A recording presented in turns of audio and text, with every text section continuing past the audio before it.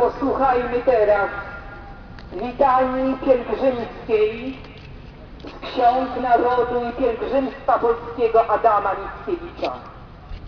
Módlmy się razem z naszym wieszczem. Kyrie eleison, Chryste.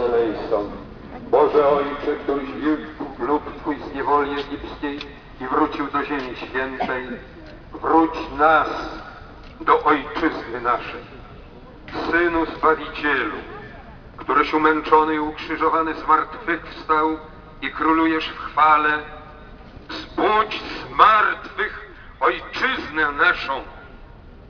Matko Boska, którą ojcowie nasi nazwali królową Polski i Litwy, zbaw Polskę i Litwę. Święty Stanisławie, opiekunie Polski, módl się za nami. Święty Kazimierzu, opiekunie Litwy, módl się za nami. Święty Jozafacie, opiekunie Rusi, módl się za nami. Wszyscy święci opiekunowie Rzeczypospolitej naszej, módlcie się za nami od niewoli moskiewskiej, austriackiej i pruskiej wybaw nas, Panie. Przez męczeństwo 30 tysięcy rycerzy barskich poległych za wiarę i wolność wybaw nas, Panie. Przez męczeństwo 20 tysięcy obywateli Pragi wyrżniętych za wiarę i wolność wybaw nas, Panie przez męczeństwo młodzieńców Litwy, zabitych kijami, zmarłych w kopalniach i na wygnaniu. Wybaw nas, Panie.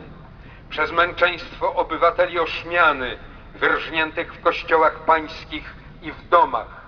Wybaw nas, Panie. Przez męczeństwo żołnierzy zamordowanych Fiszał przez Prusaków. Wybaw nas, Panie przez męczeństwo żołnierzy zaknutowanych w Kronsztacie przez Moskali, wybaw nas, Panie. Przez krew wszystkich żołnierzy poległych w wojnie za wiarę i wolność, wybaw nas, Panie. Przez rany, łzy i cierpienia wszystkich niewolników, wygnańców i pielgrzymów polskich, wybaw nas, Panie o wojnę powszechną za wolność ludów prosimy Cię, Panie.